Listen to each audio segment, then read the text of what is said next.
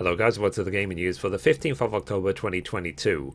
So the North American data center for Final Fantasy XIV is going to be expanded on the 1st of November 2022. It's going to include the new data center Dynamis. It's going to have three new worlds and Square Enix have released a schedule of when the housing lottery will be available on the new servers.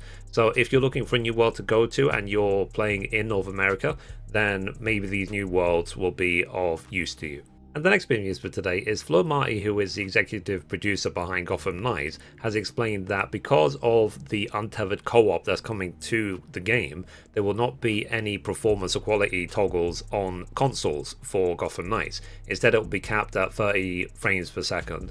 In the future, we'll see if they add any options for performance, but for now, at launch, it will be limited to 30. They also announced a four player co op mode, which is coming for free in November. And the last bit of news for today is several new features for Dead Space Remake was announced yesterday, including the fact there will be no loading screens, there will be expanded story moments in the game, there'll be new optional side content as well, including locked doors and reasons to revisit previous areas.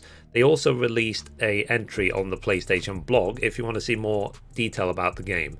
So if you're looking forward to Dead Space Remake, not too long more and you'll be able to play it. Anyway guys, that's it for the gaming news for today. Thank you so much as always all the new followers and I will see you tomorrow. Thanks guys, bye bye.